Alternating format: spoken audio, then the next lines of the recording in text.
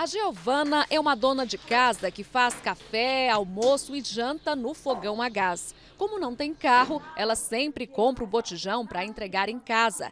E por enquanto, ainda não viu vantagem na possibilidade de pagar mais barato, comprando direto das distribuidoras. Eu não vou ter tempo, disponibilidade para buscar o gás na, na, no dia que ele acabar.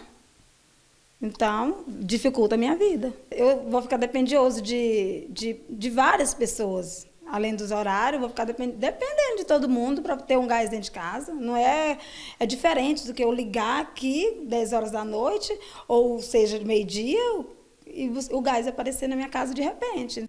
Já o Lucélio acha vantajosa a mudança na resolução da Agência Nacional do Petróleo, ANP, que autoriza engarrafadoras e distribuidoras de combustíveis a vender direto ao consumidor. Em si sobra mais né, para a gente, né? No caso aí de, de um preço de, de 80 reais por botijão, né? Então se baixar e reduzir o preço para a gente, às vezes a gente né, é, melhora um pouquinho a condição da gente, né?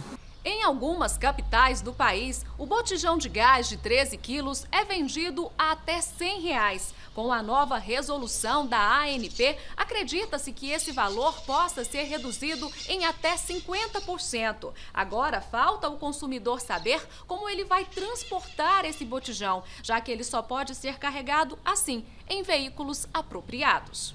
Cada 3, 4 minutos nós estamos entregando um gás. E é das 7 horas às 9 horas da noite. Hoje no Brasil, 70, 80% dos depósitos do consumidor só tem um bujão de gás.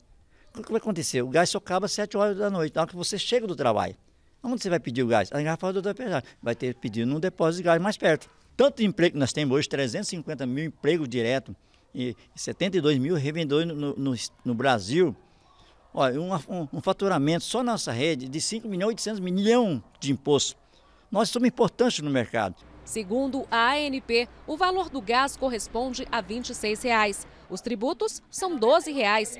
O restante são as margens de lucro da distribuidora. Tem também os encargos trabalhistas, o custo de manutenção e do combustível dos veículos que transportam o produto. A flexibilização tem como objetivo facilitar as compras em grandes empresas, hospitais e instituições públicas que precisam realizar licitações para a compra do gás.